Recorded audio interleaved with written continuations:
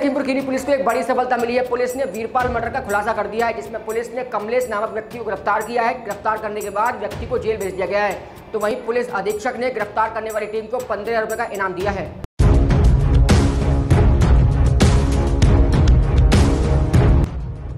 खीरी थाना कोतवाली सदर क्षेत्र के अंतर्गत ग्राम लाहौरी नगर में वीरपाल पुत्र रामविलास सोजोलापुर थाना कोतवाली सदर का सब मिलने से सूचना प्राप्त हुई थी। सूचना पर थाना कोतवाली सदर पुलिस द्वारा तत्काल मौके पर पहुंचकर सबको पोस्टमार्टम के लिए भेज दिया गया था। तो वहीं मृतक वीरपाल उपयुक्त की गुमशुदगी की दिनांक बाईस दो हज़ार को दर्ज की गई थी। मृतक की पत्नी ने लिखित तैयारी के आधार पर मुकदमा दर्ज कराया था। विवेचना के क्रम में कमलेश कुमार रामदर्शन व अंकित शर्मा को पुलिस द्वारा हिरासत में लेकर घटना में उनकी संलिप्तता के बारे में पूछताछ करने पर अभियुक्तों द्वारा जुर्म करते हुए बताया गया की दिनांक दस दो दो को मृतक व अभियुक्त कमलेश के बीच शराब के नशे में जुआ खेलने को लेकर विवाद हो गया था। विवाद के दौरान अभियुक्त कमलेश द्वारा मृतक वीरपाल के सर पर लोहे की रॉड से प्रहार कर उसकी हत्या कर दी गई थी। हत्या के बाद अपने अन्य साथियों को रामदर्शन व अंकित शर्मा के साथ मिलकर उसने सबको झाड़ियों छिपा दिया था। घटना के सफल अनावरण पर पुलिस अधीक्षक महोदया द्वारा गिरफ़्तार करने वाली टीम को पंद्रह रुपए का नगद पुरस्कार दिया गया है। सोलह फरवरी को थाना सदर क्षेत्रांतर्गत लाहौरी नगर गाँव के पास एक शव बरामद हुआ, जिसकी बाद में शिनाख्त वीरपाल चौहान के रूप में हुई। अज्ञात शव की शिनाख्त होने के बाद पीएम हेतु भेजा गया, जहाँ पर मृत्यु का कारण स्पष्ट रूप से अंकित ना हो पाया।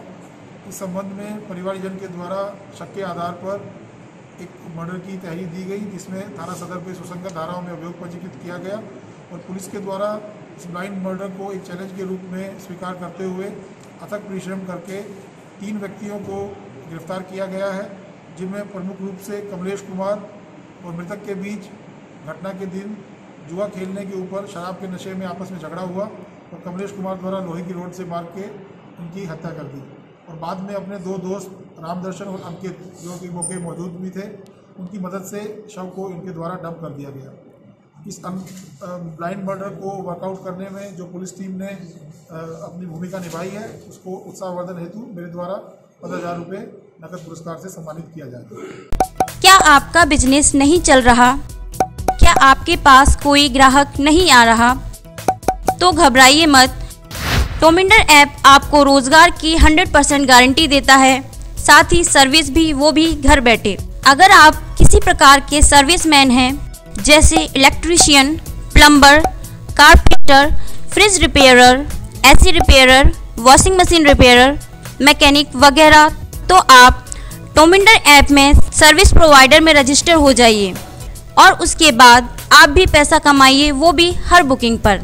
तो डाउनलोड कीजिए अभी टोमिंडर ऐप साथ ही अगर किसी व्यक्ति को किसी भी प्रकार की सर्विसेज़ की आवश्यकता हो तो यूज़ एज कस्टमर में लॉगिन कीजिए और घर बैठे पाएँ हर प्रकार की सर्विसेज़ तो सही है ना टोमिंडर रोज़गार भी और सेवा भी।